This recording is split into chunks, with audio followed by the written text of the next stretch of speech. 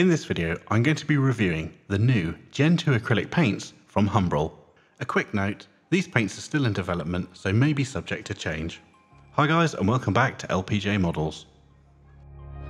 During my recent trip to Airfix, I was given several Humbrol Gen 2 acrylics to try, and as I love my paint, I thought I'd do a video. These new paints are supplied in a 14ml dropper bottle, which is a great improvement on the previous tubs Humbrol supplied. The previous range of paint had a bit of a bad reputation with graininess and inconsistency, so I'm really hoping with these paints Humbrol have addressed those issues. But there is only one way to find out, so let's take a look in depth at these paints. For continuity, I primed my test model with the supplied Humbrol acrylic primer. This was just sprayed on in several light coats to prepare the surface. I'm not usually a fan of rattle cans, but this went down quite smoothly. For the first test, we're going to see how these paints go down with a brush, something that's often overlooked because there still are a great deal of brush painters out there. The first colour I'm using is Humbrol Cockpit Green number 78, straight out of the bottle. I'm also using a soft sable brush like I would in a real world situation.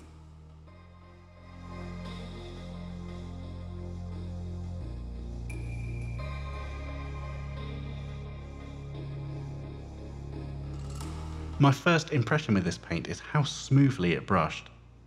The paint spread out evenly without any separation or clagginess. The coverage so far is also really promising. Now let's try the same paint thinned with a drop of water. At the time I'm recording this video, the end of July 2022, the thinners for these paints are still in development so unfortunately, I don't have any in hand for the review. Anyway, the paint is covering evenly and predictably, even with that small amount of thinning.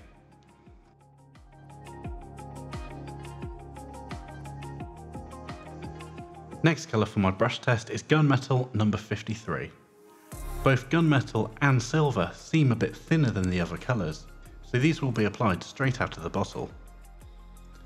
Gunmetal presents with the standard granularity you see in brushed metallic colours, but once this starts to dry, it blends in nicely. And despite being quite a thin paint, the coverage is fairly decent as well.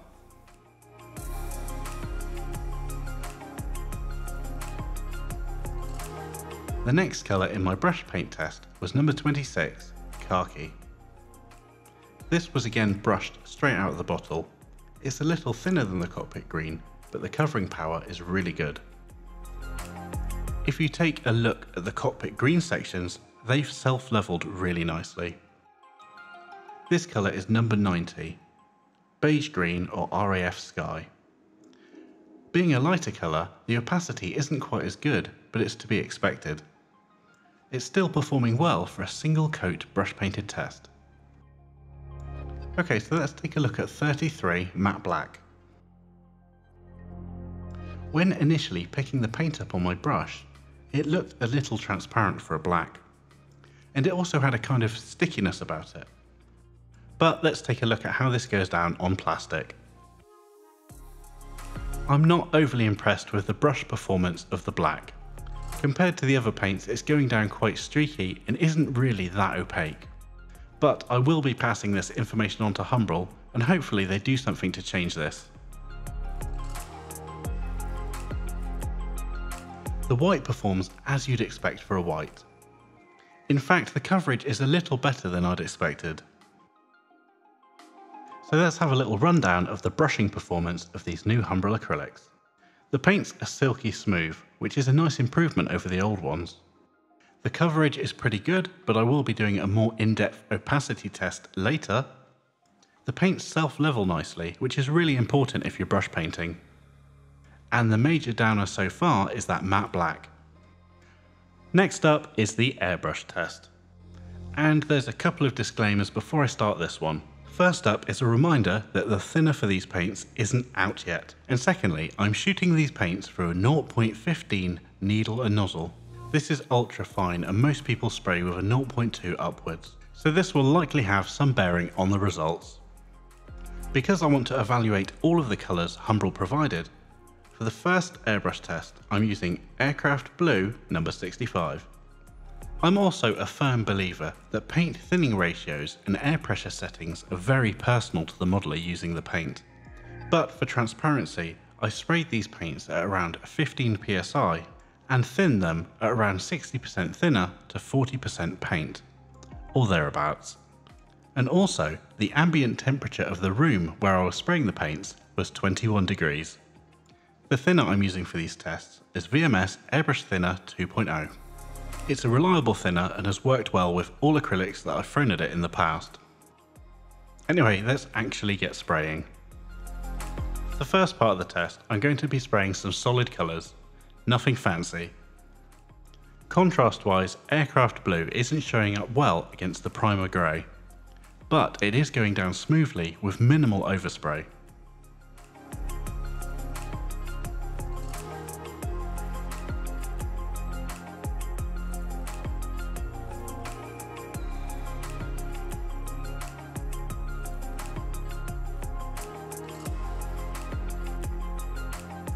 The next colour I'm going to test is number 11 Silver. I'm spraying this over the previously brush painted black so you can see it better. This one is also unthinned, straight out of the bottle. If I were to do the test again, I might thin it a little bit, but it's still going down really nicely. Despite the granular look common among metallic paints, the paint is actually really smooth. With its poor brushability, I'm interested to see how the black sprays. To be honest, even though the thinning ratio needs some tweaking, it's actually laying down really nicely, which is a bit of a contrast to how it brushed. And as you can see in this section of the footage, I did slightly over thin the paint. But no big deal, at least we know it sprays reasonably nicely. Now let's try some effects with the airbrush, like black basing and detail painting. I'm starting this test with black basing as it's a technique that I enjoy using and the colour I'm using is 165 medium sea grey. Because of the temperature of the room, I got a small amount of tip dry, which did hinder the initial flow of the paint. But once the paint was flowing consistently, it was easy to achieve a black based finish. One thing that always concerns me when spraying water based acrylics is that it doesn't often atomise quite as well as a lacquer would, leaving you with that speckled sort of edge to the sprayed area. And while thinning and air pressure ratios definitely have something to do with that, I also firmly believe that the paint plays a factor in this as well. And luckily, tests in this area seemed really positive. Despite the paint being slightly sticky at the start, and I believe that's down to the temperature and the lack of proper thinner, once everything was underway, the results were pretty good. One thing to remember when trying a new paint brand is that you do have to practice with it to get optimal results. When transitioning to different brands, like Mission Models for example, or MRP, I've always had to do a few kits to really get into the swing of learning how to use the paint. So it's not always as simple as open the bottle and spray it and have an amazing finish. There's always a degree of trial and error and practice before you get those results. You might have noticed that as the footage has progressed, I've got a bit more adept with spraying the paint. My spray patterns have got a whole lot tighter and that's just from spending a little bit of time with the paint. With that little black basing test done, it's time to do some camouflage and line work. I started by drawing the outline of the camouflage in cockpit green. I'm using very little needle aperture for control, so this took a small amount of time to build up to opacity. I know the colour is slightly hard to see, but I will be testing other colours shortly.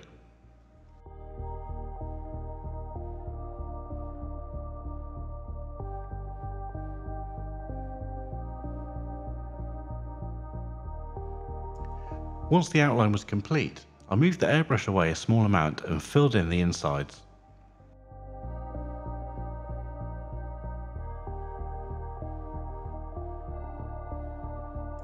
The next colour I used for the detail and line test was number 29, Dark Earth. This should prove to be a bit more visible. There was a little splatter with that first burst, but I think that was down to tip dry. Once I'd made sure my needle was properly clean, the paint sprayed pretty well.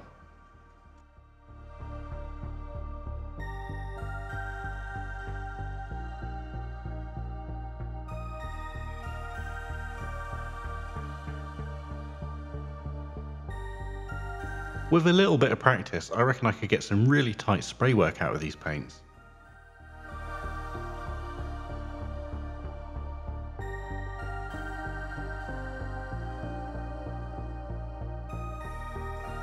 Whoops, there was a little bit of clogging there.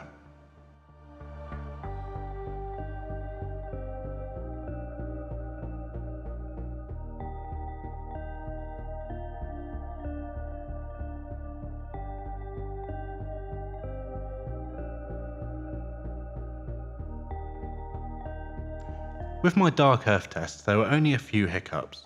And being optimistic, I'm going to put these down to my setup. 0.15 is a very finicky size to spray through. And if you have any wild cards, like brown for example, where the pigment is ground slightly coarser, then you are likely to run into some problems. I always have trouble with Second World War German red brown. Whatever the brand, if I'm spraying through this setup, I get similar results. So Finally, let's see how we get on with the black. Despite its earlier brushing performance, 33 Black has really good fine detail spraying capabilities. The mottles are tight and controlled and there's minimal overspray. I did however get a little bit of tip dry. And that little spiderwebby blob there is why you always do your first spray on a bit of paper.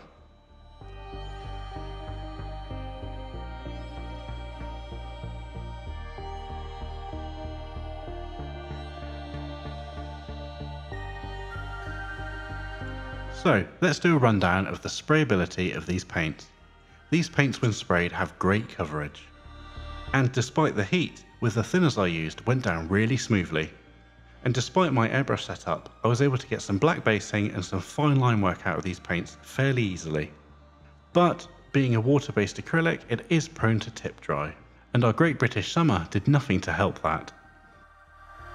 My next test will be on the opacity of the paints. How do they hold up to being painted over two contrasting colours? And to keep it fair, each colour gets one coat of paint with as few brushstrokes as possible. Let's get stuck in. For this test I'm going roughly light to dark and we're starting with white. Next up is silver. Followed by beige green Next up was Aircraft Blue.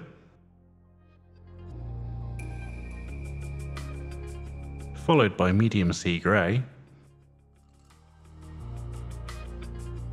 And then Dark Sea Grey. Followed closely by Gunmetal.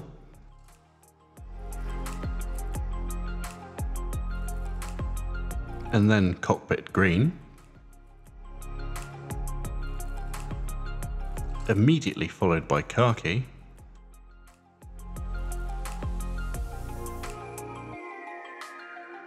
And then dark earth. Followed finally by black.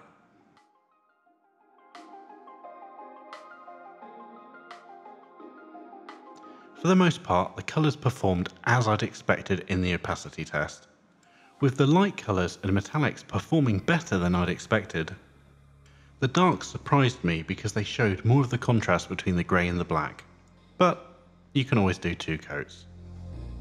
This is one of my favourite tests because you can really go to town on the paint and see how it holds up. Let's take a look at the overall durability of these Humbrol acrylics. First up the tape test. The paint has been dry for around 15 minutes and the tape hasn't been detacked. Let's see if we get any left.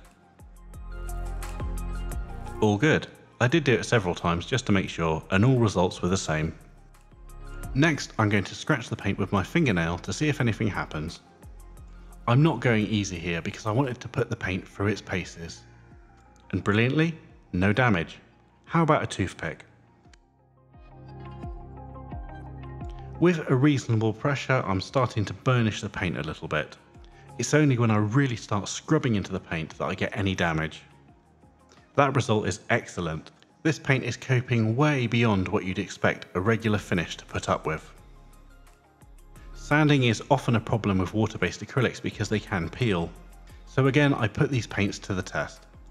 Firstly with an Infini Model 800 grit sanding pad. It wore away some of the areas damaged by the toothpick but didn't peel any paint off. Now for the real acid test, a nail file. Something I wouldn't expect you to have to do to a paint finish, but let's see how it goes. So that's no paint peel and a lightly feathered edge. That's exactly what you hope for when sanding a paint. Next up is to slather some setting solutions onto the paint to see if it reacts. Starting with Microset. This is fairly inert so it should be fine. What about Microsol? I have had trouble with this reacting with Tamiya paints in the past, but luckily there was no drama. Now it's time for Mr. Mark Setter Neo. Once again this is fairly inert, so as expected, no reaction and there was a similar result with Mr. Mark Softer. VMS Decal Set and Fix also had no adverse reaction on the paint surface. VMS Decal Softener performed equally as well. No damage, lift or bubbling. So let's round up the durability tests. This paint is really strong. It's tough and it's also quite scratch resistant, as we found out in the fingernail and toothpick test. The paint also sands extremely well. There's no peel or lift, and you'll be able to blend in any finish repairs nicely. And while I didn't extend my test to any oil thinners, it handled setting solutions brilliantly. I'm really impressed with the durability of these paints, they pass this round with flying colours. And for the final test, I wanted to try out the chipping and scratching agent. This came with and was designed for these paints, so let's see how it performs. For the chipping colour I used a mix of black and dark earth. The panels were then given several varying layers of chipping fluid, starting with one for the first panel, two for the second, three for the third, four for the fourth, and five for the fifth. And to save a bit of time, this footage is sped up. The one thing that I immediately liked about this chipping fluid is that the surface tension was good and there was no beading. The only other chipping fluid I've used that's laid down similarly is the VMS one. For the covering coat, I sprayed on a layer of cockpit green. When covering chipping fluid, you don't want to go too heavy or too wet as you might disturb that underlying chipping layer. And once this had dried, I took some slightly warm water and started brushing this over the paint to release that chipping fluid. I'm expecting that the more layers of chipping fluid there are, the easier they will be to release.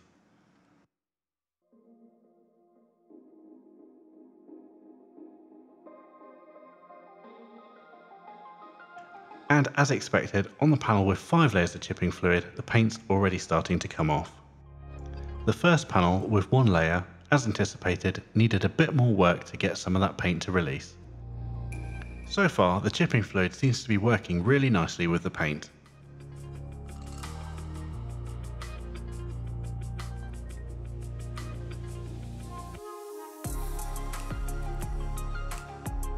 As I move through the varying amounts of chipping fluid, the results are to be expected. The more there is, the easier the paint comes off, which is exactly what you want in a chipping fluid. I'll be looking forward to trying this with other brands of paint to see how it performs.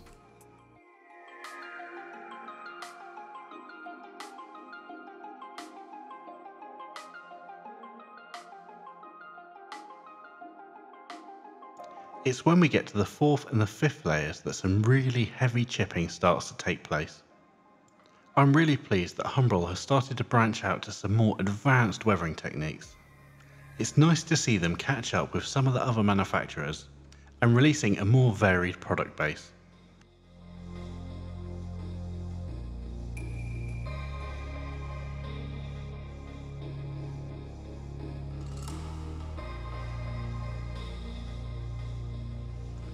Cool. Those results are really good. I'm pleased with that. And with that test complete, it's time to bring those moody product shots back and do a conclusion. It's awesome to see Humbrol listening to the consumer and making some active changes to their product range. Their previous iteration of these acrylics weren't very popular, and from some of the pots I tried and some of the pots in the starter sets, I can see why. But have Humbrol managed to claw back some of their reputation and bring out a good acrylic paint? I definitely think they have. As you've probably worked out from the last 20 minutes and 11 seconds of footage, these acrylic paints are a good all-round package. There are some quirks, as you'd expect with any paint, and my biggest problem was getting the paint to flow for fine work. But because of my airbrush setup with my 0.15 needle, I think that's on me. But ultimately on that point, time will tell. If these problems aren't unique to my airbrush, I'd like to think that the new thinner that's in development will help alleviate them. Another point about these paints that impressed me was the brushability. They lay down really smooth and had great self-leveling properties. Something brush painters strive for, which is a really nice feature to see. In fact, I have been using some of the paints to detail paint on my next build. One of these things about these Humbrol Gen 2 acrylics that impressed me the most was the durability. They took all the punishment I threw at it like a champ. And that's rare to see. I mean, you start sanding Vallejo and it'll start peeling off, which isn't ideal. So what's my overall verdict? Now, as some of you may know, I'm a little bit of a paint snob. And while I've used water-based acrylics to spray in the past, I've mainly moved over to lacquers. But that being said, I was impressed with how these Humbrol Gen 2 acrylic paints came out. If you see any in the shops, pick up a bottle or two. You'll be nicely surprised. These paints are a far cry from Humbrol's earlier offerings, and that reaction to customer feedback, that's what I like to see in this industry. Anyway, I'm James from LPJ Models, and I hope you found this review useful and informative. I'd like to finish off the video with a huge thanks to my patrons. Thank you guys for supporting my work, I really appreciate it.